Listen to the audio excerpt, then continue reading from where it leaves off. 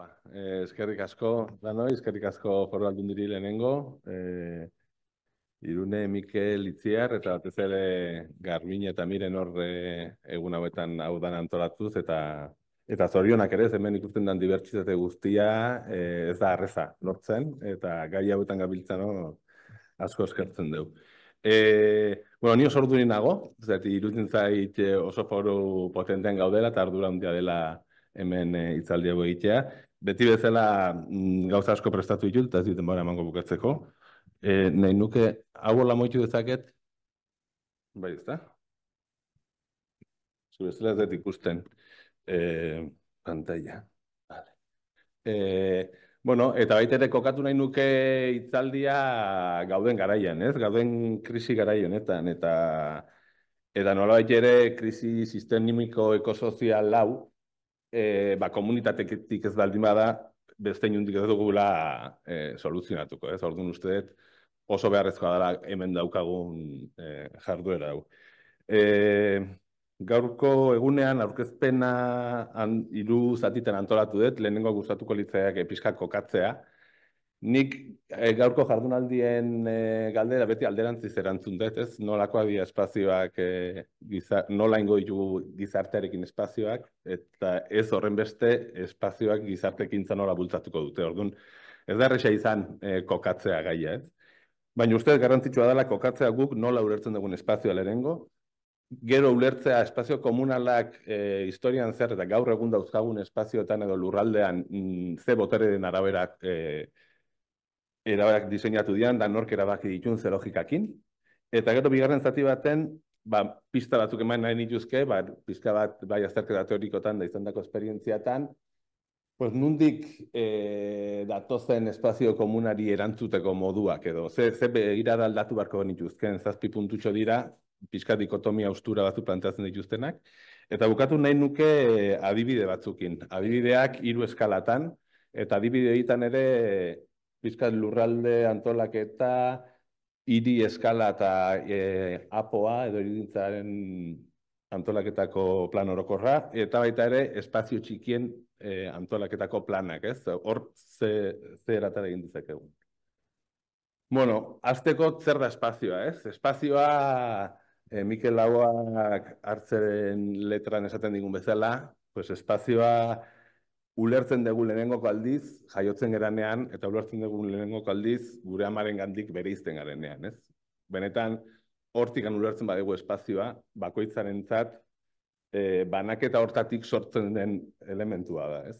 Eta espazio hori, eh, hortikan aurrera, konformatzen goaz, pertsona bakoitza, guretzako zer den espazioa, ez? e, pizka pedagogian adituek eta gure ziketan edo gure mm, nola ulertzen duguna, nola sortzen goazen espazioaren izaera, esaten digute lehenengo bizi dugun espazioa ezagutzen dugula, ikutzen duguna, egertu daukaguna, eta esperientziaren bidezko espazio hori ulertzen dugula, ez? Zazpi urtera arte, espazio hori da, bakarrik espazio, ez? Hortik aurrera, gera gai, autemateko, beste espazio batzuk nolakoa diren gu bertan egon gabe. Bai? Baina beste denbora bat behar dugu, beti ere oinarrituta gu dauzkagun esperientzietan. Eta azkenik gai izango gara espazio batzuk sortzeko. Ez izitzen ez dien espazio batzuk irudikatzeko gai izango gara. Eta hortarako beharko dugu gure espazio gulertu, hau da, bizigun espazio hori, besteak hauteman, eta orduan gerora sortu izango ditugu espazio horiek, ez?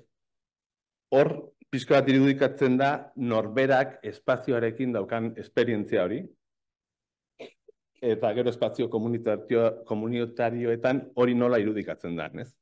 Ondoren etorriko dan botere banaketan edo botere autuan ere eragina handia izango du. Esperientzia txiki batzutan, Tolosan 2007an egin genuen esperientzia horretan, e, jendeari eskatu zitzaion bere esperientzia espazioarekiko e, adjetibo batzuz identifikatzea eta pegatzea, ez? Horrekin, adjetibo onak gorriz, adjetibo txarra gorriz, tolosako mapa bat sortzen da, banakoen percepzioetatik, ez? E, ados, ados gaude toki batzuk ez dira hain egokia, beste batzuk oso egokia direla, baina beti daude toki batzuk konflikto daudenak, ez? Gorri berde toki horiek, hoietan pertsepzio ezberdina dauzkagu, eta hor daude pixka gatazkak, ez? Hor komunitaterik ez dago, edo komunitate gatazka dago toki horietan, ez? Bestetan adostasuna daun bezala, eta behar bada gatazka horiek ere interesgarria dira gure bideetan. Alegia, bakoitza garenetik bizi dugu e, eta ulertzen dugu espazioa. Hau da lasaten egin dako lan baten inguruan, gurasoek nola ikusten zuten espazio publikoa, eta aurrek nola ikusten zuten. E, hemen esangarria da, gurasoentzako hurbil e, euria jentzunean zentro komertziala espazio potente bat zela, umea jolas egiteko, eta umentzako etzen, umentzako etxea zen. Ez? Eta hor daude, espazialiko percepzioiek gero erabaikak hartzeko lagunduko dutena. Hau da behar bada beti debatzen irudi bat, baina oso sanguratsua delako, Pakistanen izaneko esperientzia bat, espazioaren percepzioaren inguruan, golde baten ondoren, han egin genuen ekintza batean, e, iri, iria berri zantolatzeko herria, gizonekin landu genuen, eta galdetu genien nolakoa da zuen herria. Komunikazioa e, izan barra dauka alde batetik gizona, bestetik emakumeak, emakumeak eta gizonak elkartu eta emakumeak ez dutelako hitz egiten da dutelako parte hartzen, ez? E, gizonak beraien herria horrela irudikatu zuten, kale bat, oza, erreka bat, bi kale, e, ez dakit ikusten den atzetik, bai? E, eta bi mezkitak, da asko gutxiago irudi hau egiteko, gizonen komunitateak kriston gatazkak izan zituen, amar marrazki hautsi zituzten, da ordu erdi baino gehiago tarratu zuten, hau adoste herri berdinaren inguruan emakumeek beste marrazki hau egin zuten. Asko zere ludikoagoa, bueno, ni ez nintzen izan, bertan, ze bestela ez, ez, ez, ez lukete itzeingo eh, hain erraz, eta hau egin zuten asko zera harinago, asko zera azkarrago, denak marrazki bakarra egin zuten, ez? Eta hor pizkat ikusten dugu, bi errealitate horiek, ez? Pizkat genero aldetik eta genero ikuspuntuetik hor gaur egun ja gure irigintza planetan eta txestatzen zen e, irudi hori, ez? Bueno, hor, pixka bat, Lefebrek esaten digu, e, lehen zatitu ditugun hiru espazio horiek, Lefebrek esaten ditu espazio komunetarako, ez? E, irudikatzen badago espazio komunal, komunetan eh, espazio sortua da, nork sortzen du espazio, ez? Hor badago espazio bat, espazio komunari zeiterakoan. Eh, espazio komun hortan nork erabakiten du, nor dauka imaginazioa marrazteko eta erabakitzeko nolakoak izan barbian espazio ekipamendu horiek. Ez hori da, nolabait ere espazioaren dimentsio bat. Beste dimentsio bat daukagu, esaten diguna, zein dan espazio sortu hori neurtzeko ze hautematen dan, ez? E, ze hautematen dugu, ze marrazten dugu guk arkitekturan irigintzan, espazioaren mm, ze gauza marrazten ditugu. Eta gero dago espazio bizia. Jendeak egunero bizi duen espazio hori, gatazka sortzen den espazioa, manifestazio dagoen espazioa. Eta hiru dimentsio horiek dira benetako espazio komunitarioak, ez? Espazioarekiko.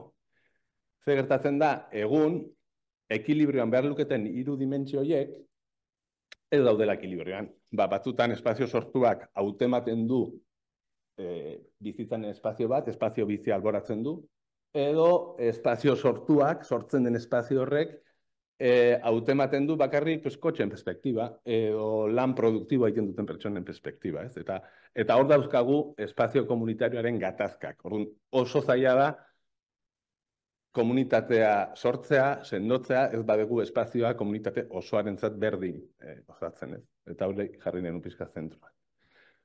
Orduan, historikaki behiratzen badegu nola izan dan eh, eraldaketa hau, edo eraldaketa gure espazioan, gure hiri modernoan esango dut, edo irikintza modernoan, Junbarge erdiarora eta erdiaroko gipuzkoako erritxo hauek hartu ditugu, eta aldaketa gaur eguneraino zein izan dan, ez? Aldaketa horretan, hiru hito daude.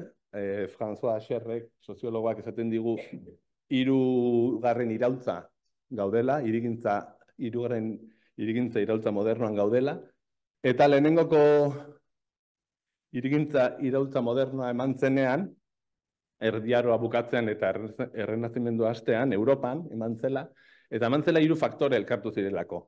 Elkartu zelako batetik individualtasuna sortzen hasi zelako, komunidadearen austura sortzen hasi zelako, arrazionaltasuna gaientzen hasi zelako beste ustei edo beste ezagutzei, eta gizartea banatzen edo segregazio soziala hasi zelako ere Europako e, hirietan erdiaroko inguru horietan. Orduan, nor zeukan boterea aldaketa horren aurretik, ez? Erdiaroan, boterea edo hirien diseinua mm, ikusten duzuen bezala denak ezberdina dira, denak e, tokira egokitzen dira, geografiara, naturara, aizetati babesten dira. E, beraz, natura eta inguruak zer esan handia dauka, ez, diseinu horretan. Bestalde, denak babestuta daude, hau da, logika militarrak ere ezartzen dira, eta militar logikak ezartzen dira lehen gure herri diseinuetan, eta bestaldetik Eliza edo kriston pixua, ez, Elizaren guztietan daukagu Eliza elementu volumetriko nagusi bezala. E, errenazimenduan aldaketa ematen da, eta errenazimenduakin perspektiba sortzen dugu. Perspektiba sortzearekin, daukagu gaitasuna marrasteko ez planoan, baizik eta marrasteko ze gertatzen den espazioan. Eta orduan daukagu gaitasuna kokatzeko gauzak bate eta bestearekiko. Gaitasun horrekin, e, botere administratiboak, printzeak eta aristokrazia gara horretan, hirien diseinua antolatzen dute beraiek zentrotik kontrol baterako eta estatuak, edo bueno, tokiko gobernuak kontrolatzeko eta jerarkia batzuk sortzeko e, jendearen kontrolerako indibiltasuna, razionaltasuna eta segregazio soziala haunditzen doazen einean. Ez? Beste salto handi bat emango dut eta industrializazioa pasako naiz. Industrializazioan dator urrengo aldaketa handia eta hemen kokatzen du haserrek bigarren e, iraultza irikintza modernoan. Ez? Hiri honetan, erdiaroko muraiak jautsita zeuden, errenazimenduan atera eta genden ja lurraldea babest, e, kolonizatzera eta industria sortzen da trenarekin. Industriak hartzen ditu gure lurraldeko tokirik onenak, ibai ondoak, lautabak, nekazaritza lehenengo sektuararen e, truke, eta lurralde guztia zabalduta dago kolonizatzeko eta e, eraikitzeko, ez? Hor, horre dakartzan aglomerazioekin, ze industria kokatzen da, etxe bizitza gero dator, eta aglomerazio handiak ematen dira, ba, modernitatean, mila betzireun da behatzean, e, Europar arkitekto eta urbanistak elkartzen dira, eta Atenasko gutuna e, deitzen dan karta bat idatzen dute irigintza modernoarekiko. Gehienok ezagutuko duzu edo askok, arkitektura munduko ez. Eta horre erabakitzen da, gizart, iriak makina direla eta pertsona makina hoien barruan bizi garela nola ere, eta lau elementu edo lau funtzio da euki behar ditula iriak. Irian egin behar bizi, egin behar dugu lana eta izan behar dugu aixia. Eta hori egin behar dugu batetik beste banatuta, separatuta. Eta hori dena elkartzeko, eukiko dugu mugikortasuna eta eukiko ju errepideak. Kalearen logika usten da, eta errepidearen logika eta mugimendoren logika zartzen da gure gizartean, industrializazioaren modernitatearekin. Horrek, eragiten digu, ba, leheno industriak okupatu zen lurraldea, are gehiago okupatzea, eta gure logika, beste logika batzuetatik sortutako hiriak, e, errepidez jostea, ez? Behar bada, orain, hauek erromako argazki batzu dira, ba, bueno, ba, impacto handia intzidiatelako Erasmusan inunean, ikuste, arroma bezalako hiri baten periferietan, nola, irurogita margarren amarkadan, sartu zian errepide autopistak, etxen gainean eta azpian, eta nola espazio komun publikoa zanpatu eta zapaldu zuten, ez? Logika, mugimendoren logika azkarrekin, ez? Eta mugimendoren logika nola zapaltza joiekin, ez? E, modernitateak, hortik onaino, ba, laro gigarren amarkadetik onaino, deno bizitzan dugu, e, etxe bizitzaren gorraka da, etxe bizitza merkaturatzea, enprezioak, logika industrial horiek etxe bizitzan sartzea, eta bueno, igual beste egunetan zehar nik uste sakonduko degula, arratsaldean eta bestetan, igual zati hortan gehiago sakonduko dugorren kritikan. Baina badaude modernitate, irigintzaren modernitateak gaur egun hirugarren eraldaketa batean, kokatzeko baditu arrakala batzuk, ez? Garbi ekologia ikuspuntutik ikuspuntu sistemiko baterantz e, ari irigintza eta espazio publikoan antolaketak e, egiten, edo egin beharko erituzke, eguneroko bizitza zentruan jartzen dugu, eta feminismoak ikarpen ikaragarriak egin ditu, irigintza e, komunitari baterako. Antropologia kulturalak eta tokiko jakintzak, toki bakoitza bere herria, bere lurraldea, bere egiteko moduak, dauzkan garrantziak globalitatean ere ekarpenak egiteko.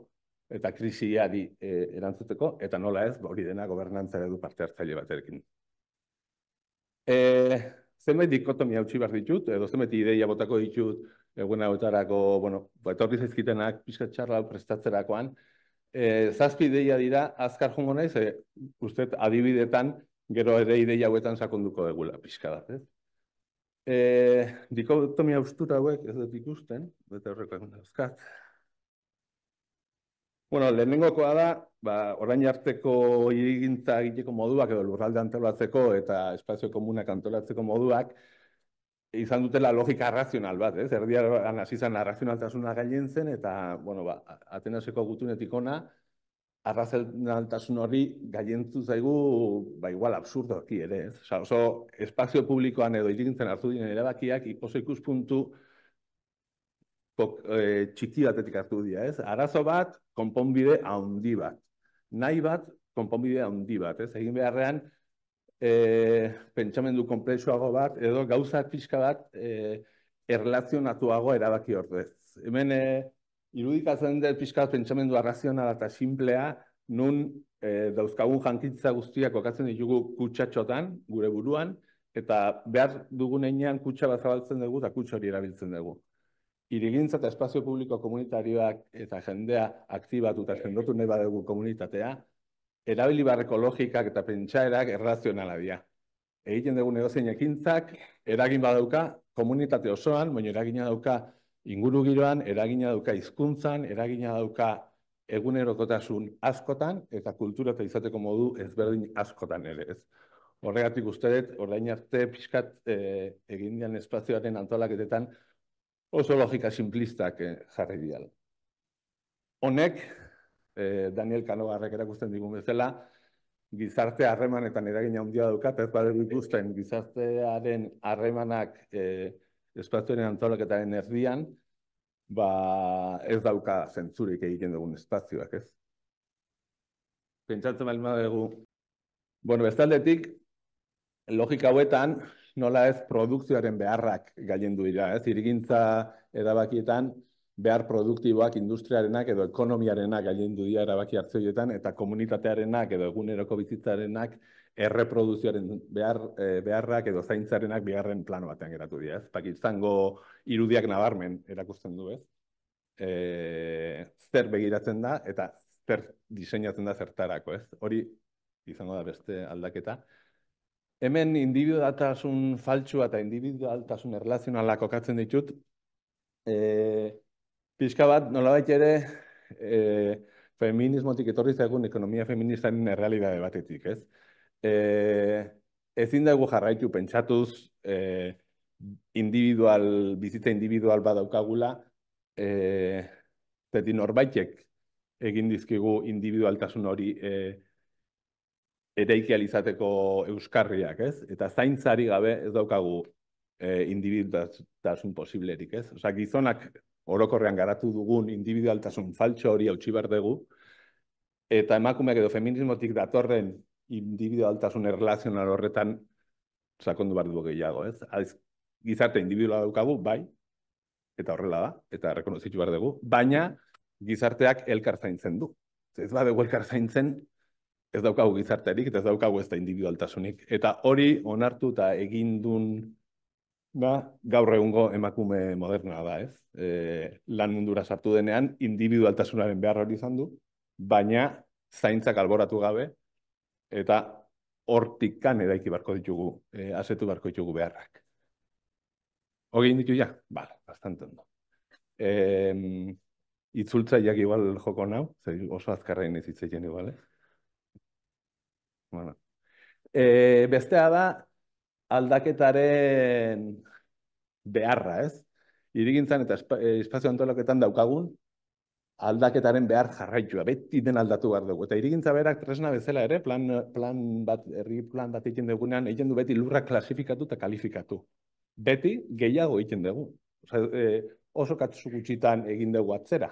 Gu planen batean egin dugu atzera eta desklasifikatu dugu zoruren bat. Eta horrela, baina beti e, eta legez goain dara gutxi arte, egin beharra zegoen. Plan bat irikitzen egin hartzen zinean bakoitzan, ez dakit zen beti etxe bizitza gehiago egin beharra zeuden, ez? Hori pixka aldatu da, baina beti gehiago egin, eta oso zaila izan da e, egonkortasunaren edo aldaketatxo txikien aldeko planak egitea, tresnati bertatik, ez?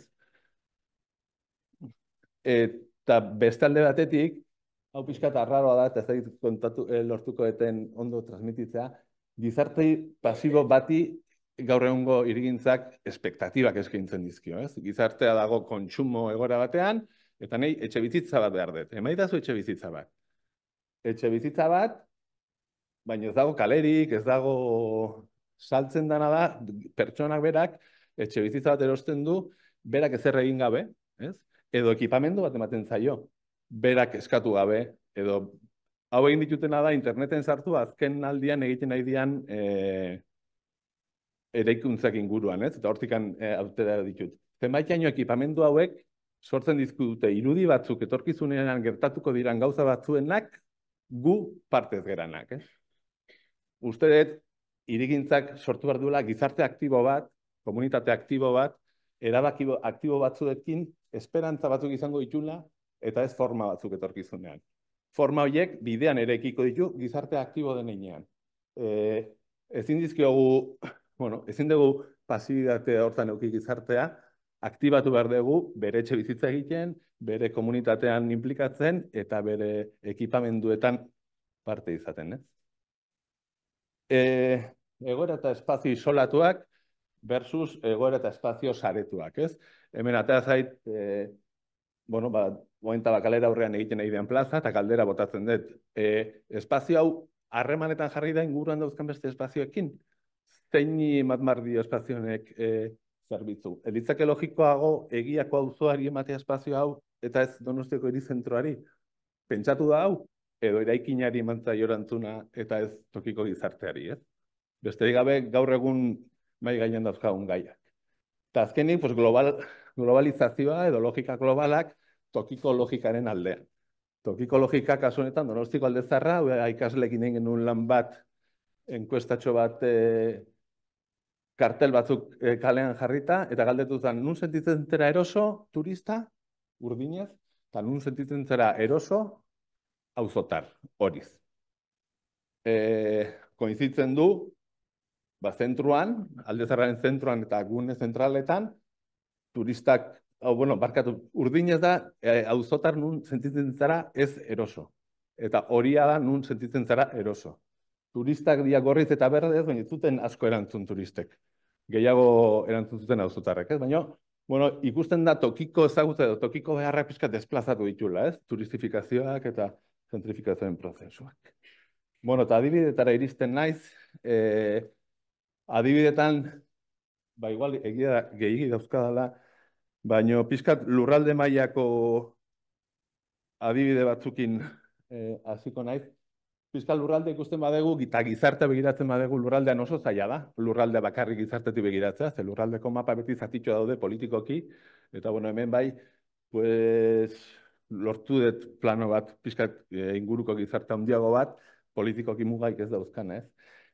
Gure komunitate begiratzen badugu, gure komunitate euskera da, ez? Hau da, euskeraren komunitatea, uneko laro baina goiago euskeraz hitz egiten dugun komunitatea, Baina hemen ez daukagu antolaketa tresnarik e, hau kontutan izango duena berosotasunean. Eh?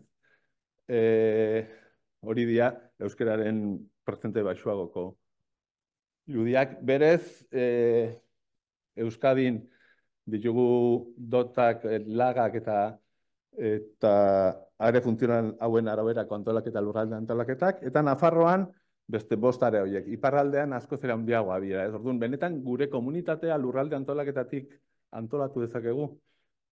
E, Euskararen inguruko azterketa bat egiten ari gara orain unibertsitatean, Euskararen erabilera eta erikintza relazionatzen dituna, eta relazionatzen ari gara eta ikusten komunitateak baiaretan nola handitu eta txikitu diran, eta horiek errazionatzen euskalkiekin, ez?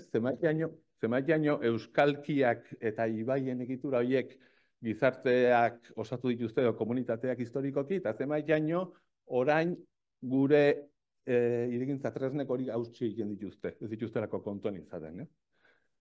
E, hau Madalen González egindako tesiaren inguruan, azken urteetan gure inkluso herri txikitako komunitatetan gertatu diren e, logika aldaketak dira, ez? Tokiko logika eta lurralderen logika e, beltzez, eta begiratu baliarrain, zertzen duela ama urte, eta zer eriki den gorriz inguruan, eta zer edutako txaletak ere ikidia, eta zer gatazka sortzen dian, edo astea zu beharra da gertuago ere, ze eredu txertatu dian gure, gure lurralde logikatan. Ez.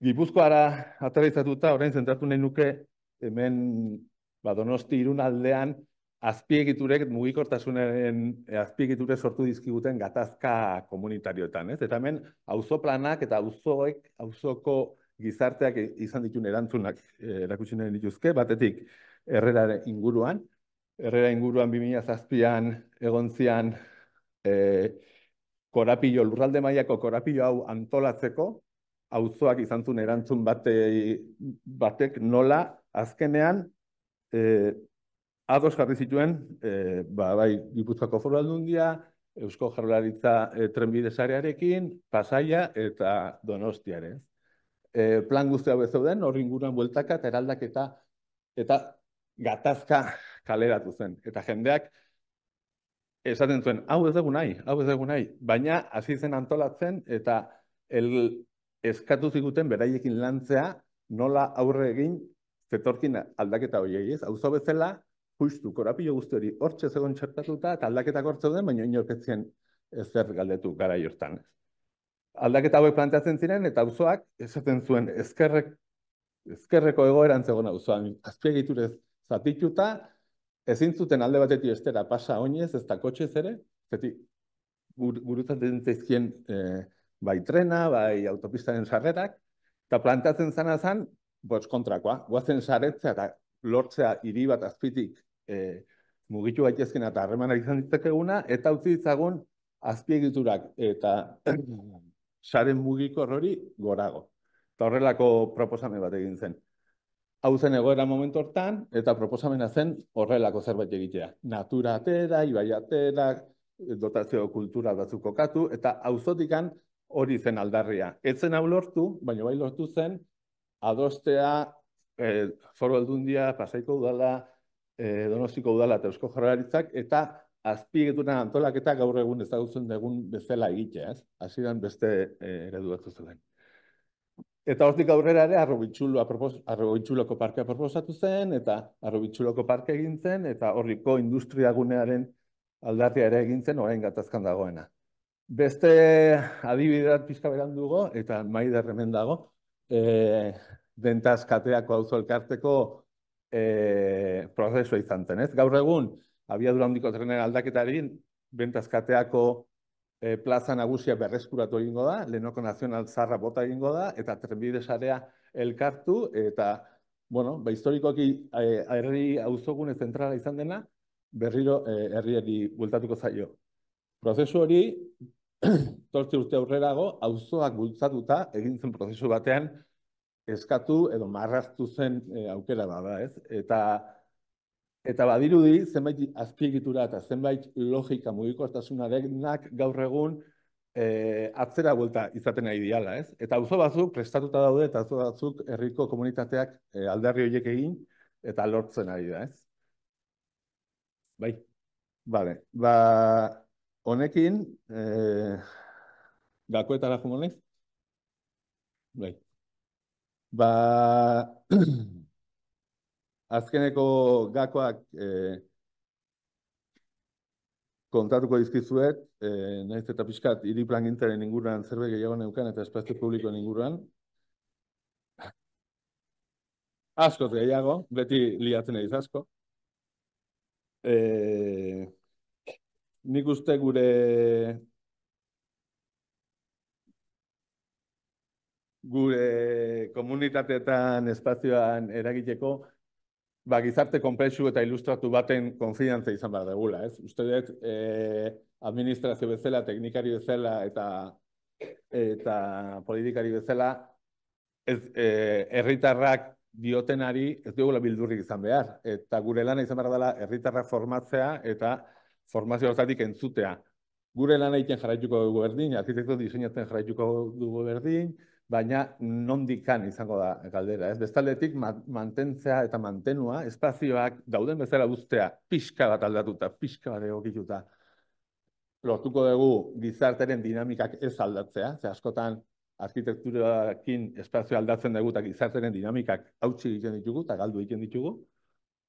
Bezadetik, esperantzak sortzeko tresna bezala eh, erabili barko nuke irigintza eta espazioen antolaketa, eta ez espektatiba faltsuak, hor badago abesti bat oso polita, eh, sortzeko. Eta azkenik, edozein espazioa egiten dugula, antolatzen dugula, sare oso baten barruan eh, kokatuko nuke, eta hori ditzak beste aldatia. Eta beste gabe, ba, eskerrik asko.